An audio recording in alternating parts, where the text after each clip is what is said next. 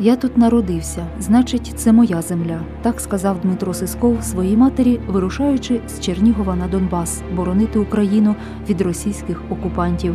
Хоча за національністю був росіянином. Свою відданість українській землі він довів на найвищому рівні, віддавши за неї своє життя. Лариса Миколаївна передивляється світлини і згадує найщасливіші роки життя поруч зі своїм сином. Він був у неї один, ростила вона його без батька. Допомагали виховувати хлопчика її батьки. Для мамы, как знаете, как самый умненький, самый красивый, самый лучший был. Вот. Ну, такой, конечно, немножко м, подвижный он очень был. Он с дедушкой очень дружил, очень дружил с дедушкой. И, ну, как бы все время в гаражи ходили с ним вместе, и так вот они, ну, очень дружили они. И ба- с бабушкой он, как бы, я на работу сразу, можно сказать, пошла, и он, э, бабушка его э, растила. Дідусь Дмитра Микола Степанович Сисков був військовим льотчиком, офіцером і навчав курсантів у Чернігівському вищому військово-авіаційному училищі льотчиків. В училище он всегда, когда вот э, были годовщины какие-то в училище, он всегда брал Диму с собой. Вот, и тут есть и фотография, где Дима стоит с дедушкины уже последние курсанты, как бы, ну вот, когда дедушка уже перед, его дедушка перед э, демобилизацией в отставку, как идти. Последние его курсанты приехали. Лариса Миколаївна народилася в Криму. Там вона деякий час жила разом зі своїми батьками. Пам'ятає і свого дідуся, який за часів Другої світової війни працював у Феодосіївському підпіллі. И мне уже дедушка, мой отец умер уже. И в этом же году пришло письмо с Феодосии, там открылся музей, нашлись новые там документы об этом подполье. Его приглашали туда на это, на открытие, ну, в этот музей приглашали. Вот, и тогда еще Дима сказал, я поеду когда-нибудь. Діма навчався в Чернігівській середній школі номер 11, а після восьмого класу перейшов до другої школи. Серед захоплень хлопчика, яке він проніс через все своє життя, було читання книг. Прищепила любов до цього заняття його мама. Я ему много читала, очень много читала. И он, как бы, я ему не рассказывала сказки, я читала. И э, вот, например, его любимая книга была, он еще не, мог- ну, где-то ему, наверное, пять лет было, «Дети капитана Гранта». В общем, я ее три раза подряд читала. Она ему так понравилась. В старші шкільні роки Діма був запальним і безшабашним, але разом з тим готовим допомогти іншим. Про таких кажуть душа будь-якої компанії, згадує про Дмитра Сискова волонтерка Вікторія Цехмістер. Диму знаю э, еще по школе. Он учился немножко младше меня, э, но как-то пересекался все время с моим братом младшим, поэтому э, знаю его как бы школьные, вот эти озорные, вот эти их все смешные гитара вечно у них там где-то под подъездом они какие-то там шашлыки. Он всегда был веселый, всегда был отзывчивый.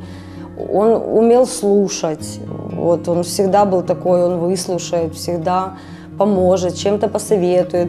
Но все равно был таким вот кипишным, интересным, таким веселым парнем. Після закінчення школи Дмитро був готовий піти на службу в армію, причому туди, куди покличуть. Але дідусь намагався знайти для свого онука краще місце для служби. Папа ж у меня был э, военный, и п- работал потом в гражданской обороне здесь, в Чернигове. И, естественно, там все ж бывшие отставники. Ну и э, зам э, э, военк- военкомата э, говорит, давай его ж оставим в Чернигове, все, как, ну, в армию, когда.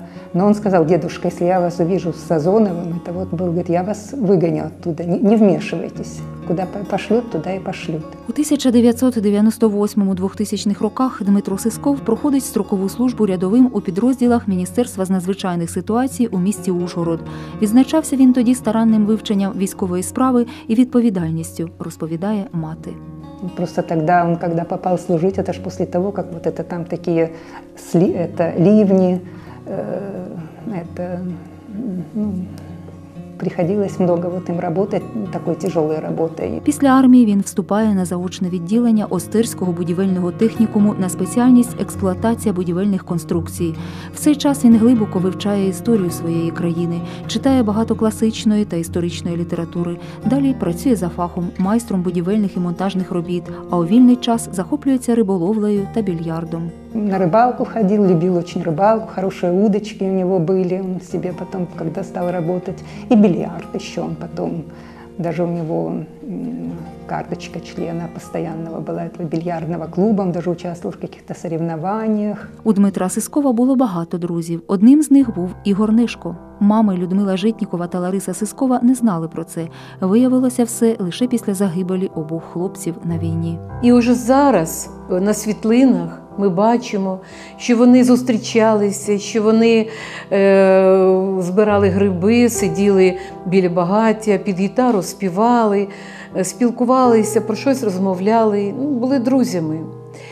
І Ігор на, на два роки старший, напевно, він мав вплив на Діму. Коли Ігор загинув, Діма був на похованні. Я його тоді, правда, не бачила, бо я нікого не бачила. Але Діма був, він віддав, провів Ігоря в останню путь. І після цього, видно, він щось розмірковував, думав і вирішив піти теж добровольцем піти в АТО. Він не міг зрозуміти, як таки могло статися, що Росія, де живуть його родичі, почала агресію проти країни, яка стала для нього рідною. Тож, не вагаючись, вирішує їхати на схід захищати Україну добровольцем. Я догадывалась, что он э, оформляет документы. Он же мне ничего не говорил. Потом я так поняла, что кто-то из знакомых, вот батальон Донбасса, он туда собрался, уже документы оформил и поехал. И я ему же сказала, что ну зачем ты, не надо. Я говорю, он говорит, мама, я не хочу, чтобы приезжали сюда на Украину, типа пострелять хохлов. Я говорю, ну ты же не хохленок. Он говорит, а кто? Я здесь родился. Значит, это моя родина. Он так сказал. Про те, що там насправді відбувається, син по телефону матері ніколи не розповідав. Може, і хотів щось сказати, так зайвого не можна було. Телефони були на прослуховуванні. Я ему там, бывает, спрашивала что-нибудь, и он не, говорит, мама, это военная тайна. Так смеялся, потом я говорю, так по телевизору говорят. Ну вот, слушай по телевизору, пусть, пусть не я тебе об этом скажу. Вот когда первый раз попал в Мариуполь, я говорю, ну как там Мариуполь? Он, все добре. Кругом маярять українські прапори. Після закінчення контракту у жовтні 2016 року Дмитро Сисков удруге підписує контракт вже зі Збройними силами України. Стає молодшим сержантом 16-го окремого батальйону Полтава 58-ї окремої мотопіхотної бригади. Служив на посаді командира відділення мотопіхотної роти одного з підрозділів бригади. Бійців часто відвідували волонтери. Вікторія Цехмістер якось випадково побачилась на фронті з Дмитром, але ця зустріч для неї виявилась пам'ятною. Я приехала к своим ребятам, к и мне ребята сказали, что есть парень из Чернигова, ну как бы земляк вроде, то и все. И я увидела, что Дима. Вот. Долго сидели, разговаривали, конечно, ну как бы, и уже совсем другой человек был там, Дима. Форма, он командир взвода, солидный, уже уравновешенный, какие-то там вот, я не знаю, как там, я, яр, яркий был вот он очень. У Вікторії на очах сльози, адже кожен військовий побратим за роки війни став для неї рідним. Так було і з Дмитром. Хіба знала вона тоді, що коротке побачення з ним буде останнім, що він заплатить за свободу і незалежність занадто високу ціну. Дима очень любил Украину. Дима очень любил Украину, он всегда об этом говорил, он всегда говорил, что мы победим, мы никогда не сдадимся. Он все время говорил о том, что Украина, она моя, она родная, все, мы Украину никому не сдадим. Он воевал за Украину, он воевал за свою родину просто. Он был настоящим патриотом своей страны. Ну, это герой, это цвет нации. 12 лютого 2018 року під час обстрілу на спостережному пункті Ханой між населеними пунктами Кримська і Жолобок Слов'яно-Сербського району Луганської області Дмитро Сисков загинув. На офіційній сторінці 58-ї окремої мотопіхотної бригади повідомлялось, зранку 12 лютого бойовики відкрили вогонь по позиціях бригади в районі Кримського зі сторони Бахмутської траси. Інтенсивні обстріли велися з мінометів, які заборонені мінськими домовленостями. Бойовики захопили в полон пораненого бійця, який до останнього стримував противника. Пораненого бійця тягнули полем, не додавши першої медичної допомоги, а потім нахабно заявили про його смерть. Представники банд формувань довго не віддавали тіло бійця, і лише 16 лютого його вдалося повернути до рідного Чернігова. Відспівували героя в Катерининській церкві, проводжали його в останню путь і побратими. Ну що, ну українець. Був душа в батальйоні. Проводив нас всіх на бойові завдання і вивозив звідти е, цілими неушкодженими. І це благодаря його вмілим діям і сноровці такі. То щось таке є в цьому. Вшанувати пам'ять захисника прийшов тоді Чернігівський міський голова Владислава Трошенко. Велика подяка родині за вашого сина. І вічна пам'ять.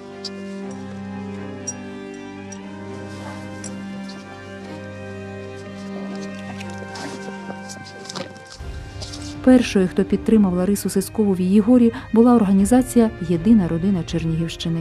Коли загинув Діма, то вже я прийшла на його поховання і там познайомилася з його мамою Ларісою Миколаївною. Зараз наші хлопці разом в небесному війську. Я думаю, вони там корисні, вони там такі ж вояки, які вони були і тут.